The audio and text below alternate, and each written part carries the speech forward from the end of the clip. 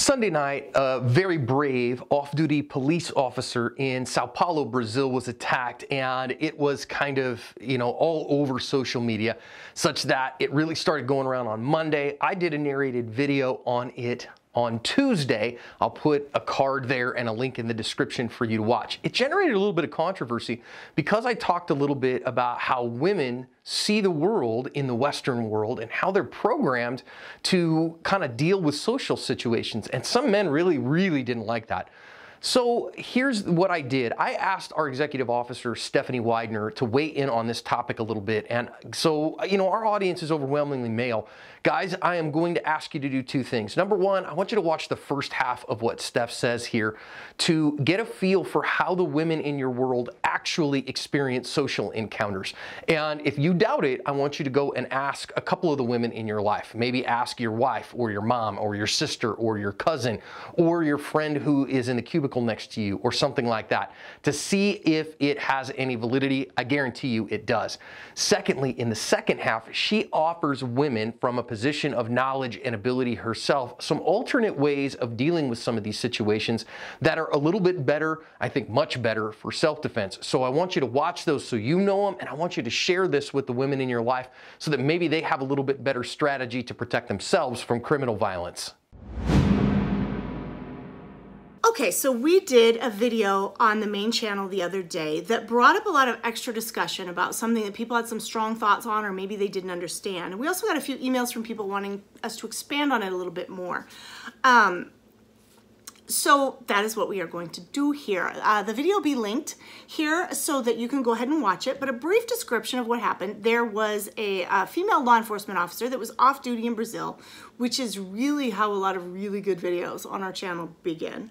Um, but she was walking late at night alone down a street and a, a car passed her.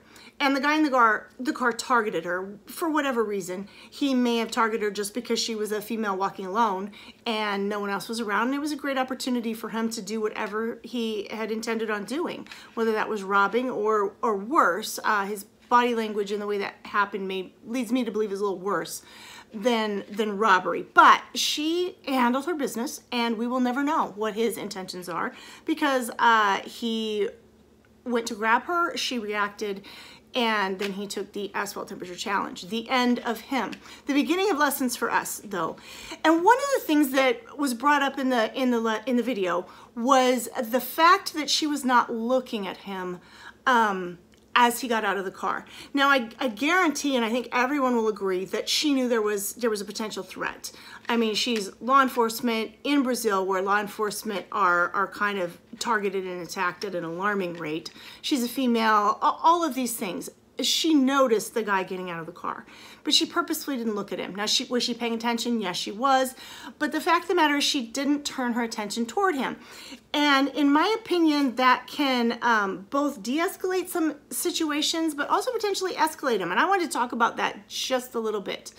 Um, this is not going to be new or earth shattering for most women in the audience. This is going to be something that you know intuitively or that you've done your entire life without really thinking about it, and, it, and it's going to make sense. Uh, for you, I have some ideas of maybe some better ways to handle this from a self-defense perspective. Um, so, so stick with me through the first part where I try to discuss the problem a little bit.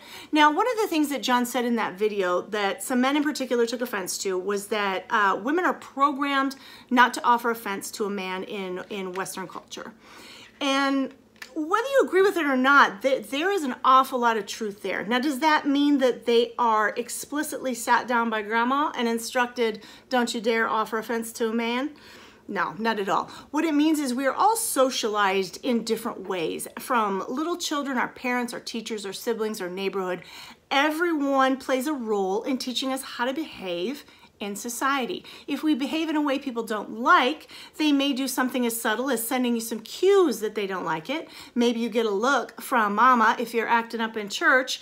If you continue to act up, maybe you get a thump on the top of the head. I don't know, but you learn to pick up the cues sooner and sooner, and you most of us tend to not behave like three-year-olds in adult society. And a lot of that is from social programming, social um, it's just learning cues and responding to them, okay? Uh, it's not explicit instruction, it's just socialization. You can think of uh, the importance of socializing your dogs, for example. That's not training. Socializing and training aren't the same thing. Sitting them down, teaching them to sit, teaching them to heel, all of those things are important.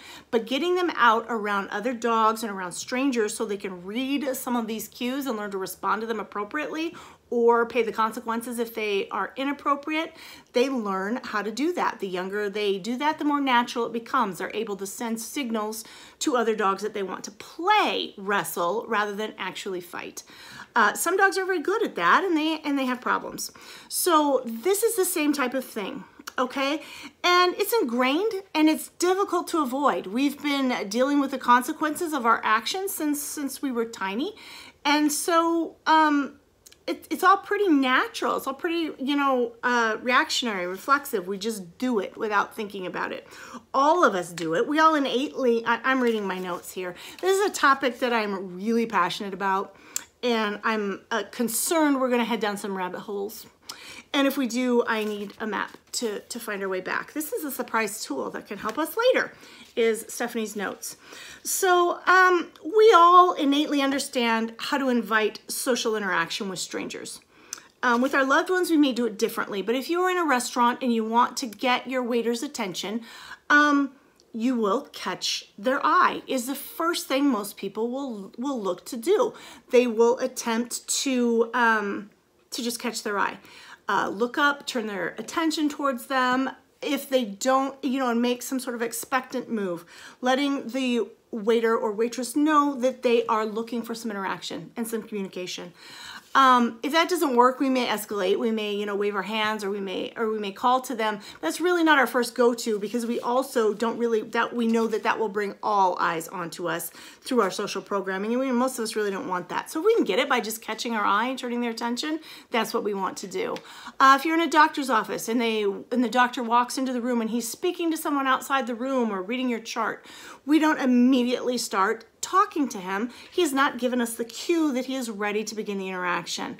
He will stop his conversation or she will stop and look at us and uh, then we will then we will begin. They may ask a question, but we know the interaction is about to begin when they turn their attention to us, when they look to us. Okay. Um, there are other times we don't want social interaction, and and we shut that down by not giving attention when we're sitting uh, in an airplane with strangers. Most of us, you know, aren't really doing a lot of turning our attention toward or looking at. Some people are visitors and enjoy that, and that is how they would get that interaction started. But an awful lot of us are avoiding the gaze of strangers because we prefer not to interact. Um, so I think we all innately understand that, men and women. We also know that there are times that we all avoid that behavior because it specifically encourages social interaction.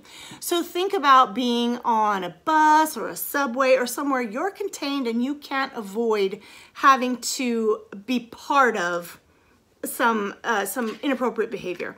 Maybe we'll think, you know, sort of a sort of a nutty person spouting off at the end of the bus. You can't get off just yet, although you're planning on it. You don't want to ignore them. You need to be paying attention to them, but everybody knows that if everyone on the bus is ignoring him and one person looks and turns that invites social interaction and nobody has time for that. Nobody wants to deal with it.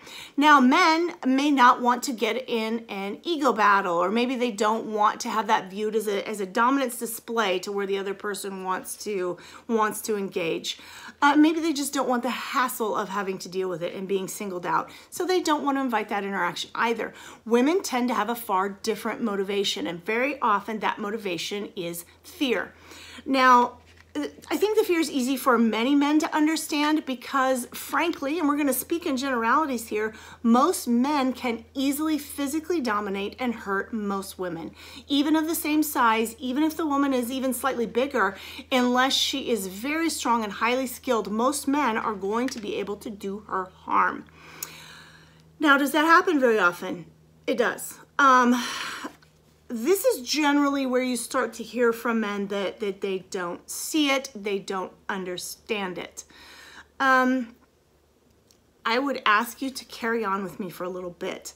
one thing many, I, I think you would agree that if you were to observe, that most good guys, if they were to observe some highly inappropriate and assaultive behavior uh, from a larger man towards a woman that was fearful, they would step in and they would help. Many would do that, or many would at least like to say they would do that. Fact of the matter is, it doesn't happen all that often, but many men would like to believe that they would do that. So let's say for a minute that I believe that you would because uh, I do. There are a lot of great guys in this in this audience that would that would be happy to stand up. Um, the, the bad guys know that too. Uh, so that is not the time they engage in that assaultive, whether it's physical, whether it's emotional, whether it's whatever um, behavior. They don't do it then because they know that many of the men will interfere. Even some of the women would interfere. So they wait until they have someone targeted and someone alone, and then they engage in this behavior. And then when the woman reports it later, you hear a lot of the, I don't believe it. I've never seen that sort of thing happening. And the woman says, no, it happens over and over. I've had this happen like five times. And then everyone, well, she's just a liar. Why is it happening to her five times? And, you know, I never hear about it. I never see it. Well, frankly, she may have something in her behavior that is signaling to people that she's a good target. So they wait until uh, they can get her alone and then they can target her. Um, some guys need much less of an impressive target. They will, they will target anyone. Um, others, you know, really want to key in on people that they think they can dominate and that are vulnerable. So just because you don't see it happening, or if you're a woman that hasn't had it happen often, um, you don't have to go very far outside your circle to know that, um, that this happens uh, with a lot more frequency than we should be comfortable with.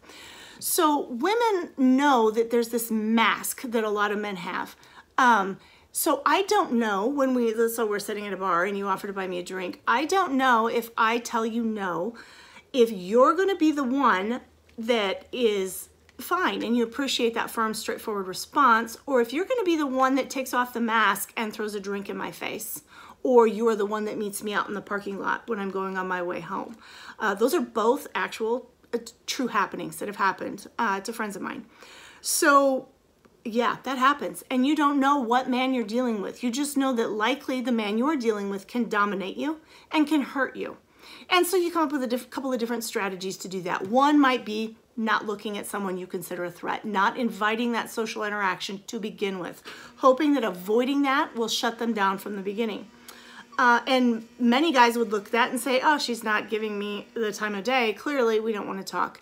Uh, this is a little bit a little bit of a rabbit hole, a little bit off topic. Another thing women might do is be very nice. They may go ahead and engage you in conversation. They may let you buy you a drink. They may give you a fake number instead of standing up for it because again, they don't know who you are. They don't know if you're wearing a mask. They don't know if simply saying no is going to cost them later uh, a higher price than they should have to pay and a higher price than they are willing to pay. So many times they will uh, play along until they get into a safer, more advantageous position. So, uh, I mean, you can look at that as playing games as you want. Uh, it's important that you need to understand, though, that that is a safety and self-defense mechanism I see a lot of women engage in. Um, and you, as a man that doesn't mean ill will to the woman that you talk to, may be frustrated by that, and I get it. Um, I would much prefer straightforward communication. But the fact of the matter is, you're not every guy and the fact that you don't know that there are other guys out there makes it problematic uh, for us. So we don't really know who we're dealing with. So that is really a key thing that you will see in a lot of women is, is they'll avoid that gaze. They'll avoid that attention. Uh, maybe some of it's denial. I don't know. I don't think so. I think most of us have really uh, in, had it ingrained in us that if we don't, that, that, that any attention is an invitation to social interaction. And and nobody wants social interaction with some stranger on a dark street when you're by yourself.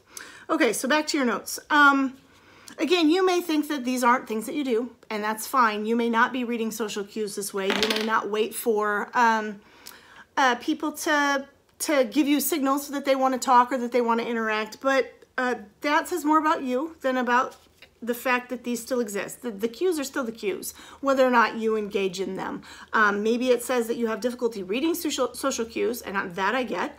Um, or maybe it says you don't care about the comfort of other people. That I also get. Now, I can see a time where, where both of these strategies are helpful. There is a time to discourage social interaction. Now, going back to our story, you're traveling alone, you're female on the bus, and someone starts acting crazy and being aggressive in the front of the bus.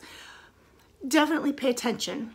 Definitely maneuver yourself into the most advantageous place if you cannot leave. However, this is not a bad time to determine if avoiding social interaction is your best course, not ignoring that there's a problem, not if he's not in your face, but perhaps you just don't want to give any signals that he can key in on for you. Totally get that, totally can see it.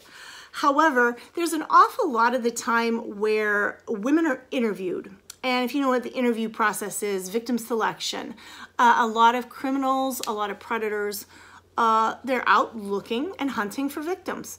Uh, that may be something as simple as they want somebody to grope in a concert or on a subway and you never even know who they are, or someone to say something really icky to and make them uncomfortable. And, and they enjoy that. They enjoy making people uncomfortable. And they will likely never get caught doing that and never go to jail for doing that. So it's the kind of low level creep you run into a lot. Um, but so they will they will interview you. And so to me, this is a time where breaking out of that pattern that many, most women engage in, I think is really good.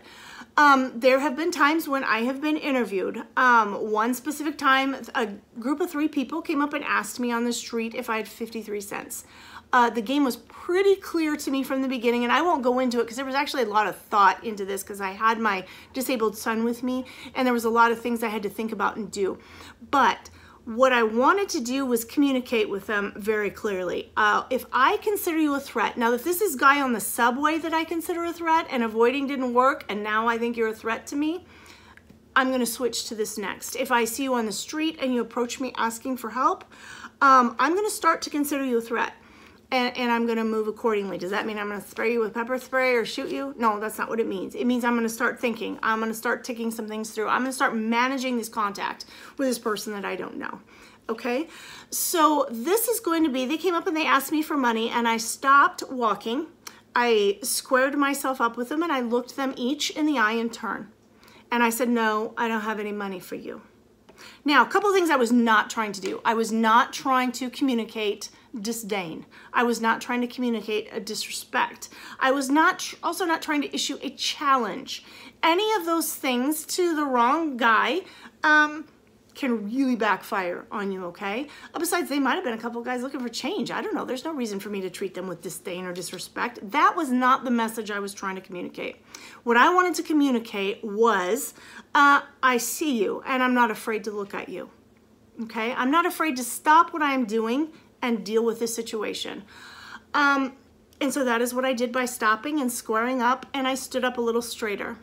Um, I wanted to send the message, I'm not challenging you, but neither am I cowed by you. If I need to handle this situation, I will, but right now I'm just gonna communicate very clearly, I don't have any help for you, and this is going to go no further. Okay?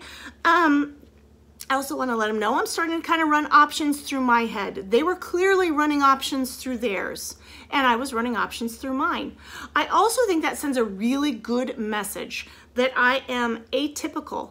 I am unpredictable. Most people, an awful lot of women are not going to want to engage. They're going to be they're going to be looking down, they're going to be looking into their purses, they're going to be trying to avoid uh, this encounter and that just opens them up to to attack i think um, so what i want to do is i want to show that i'm not typical if they are counting on me doing something in order for me to be victimized because it is something that a lot of people do you know predictability makes you a whole lot easier to manage and i want to communicate to them that i am unpredictable uh, and I am.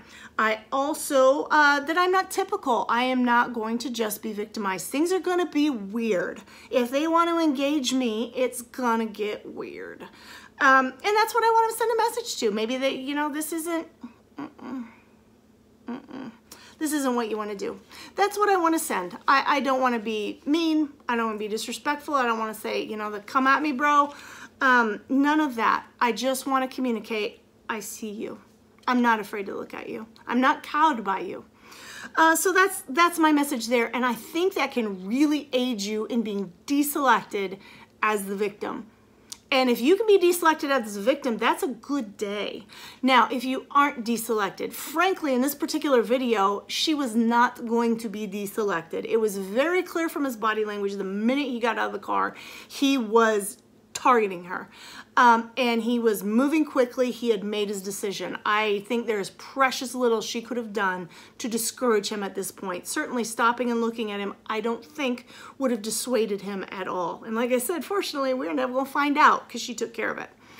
But even if you are not able to be deselected as a victim, if you are not able to disengage from this encounter or send a message that you're not a good victim, um, it gives you a heads up. It gives you time. When this woman did look and see her ghost signal and started to back up, she was giving herself more time and she needed it.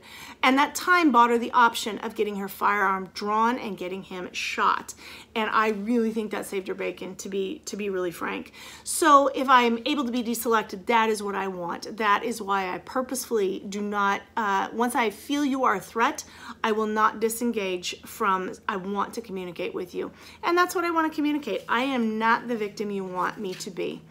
Okay, uh, two resources on this that I think are great. If you have not read both of these books, I don't care where you're at in your level and skill of self-defense, um, these are great. For one thing, they're also really good for people that aren't into that life. You know, they're not about that life. They're not into guns. They're not into whatever. These are really great strategies and really great information for everyone. Okay, the first one is The Gift of Fear by Gavin de Becker, and we'll try to put a, a link down in the in the description as well so you can find it. Um, it's fantastic. It's been a long time since I've read it. It is my understanding that I know the the version that I read had some again quite a bit of an anti-gun slant towards the second half of the book. Uh, it's my understanding he's changed that. I have not read the update. Even if he hasn't changed it, even if you get an older version of the book, it is definitely worth it to read. You don't have to agree with every point to get great uh, help and information from that. Chew the meat, spit out the bones. Okay, uh, really good. And again, it's my understanding he's changed some of that. But um, the second one is called Creepology by Anna Valdiserri. Um, and it, the men that have read this have not had as glowing reviews as the women that have read it had. I would really encourage you if you have women in your life to consider reading it, slogging through it, because it really gives a good picture of the situation. Now, I was surprised by this. An awful lot of it gave me a structure and a skeleton of ideas and ways to make decisions. And I was surprised by it's really, really hard to describe. Um, it's an excellent how-to book. Uh, it's an excellent what it is book. It is not um, a very simple, this is how you deal with, with creeps. It's not. It tells you a lot about different kinds of creeps and what you may be dealing with, what some of the difficulties in dealing with them are, and what some of the pros and cons of dealing with them are uh, forthrightly or otherwise. So I think that's another one that's really good. So I would highly recommend everybody read both of those. At the very least, Gift of Fear. Uh, if you're a woman, I would definitely pick up Creepology. I would encourage the men to do it. I just know that the men I've talked to really had trouble uh, identifying with it because it is just not something they deal with on a daily basis. The women, even the incredibly strong um, uh, women of great presence, uh, were really finding this to be a super helpful book. Um, so, so that is my take on it. That is, that is what I think it's important to know. And again, as a woman, this is probably not earth-shattering news to you. Um, unfortunately, uh, you've probably dealt with it at some point in your life. Uh, most certainly the women that are in your very small circle have and you know about it. Uh, over a lifetime, you will very likely have to deal with more. Uh, so I think these are some really good strategies to understand why you're doing what you're doing and maybe some other ideas about once you've been targeted, why it might be a good idea to try something different so that you can cover your asp.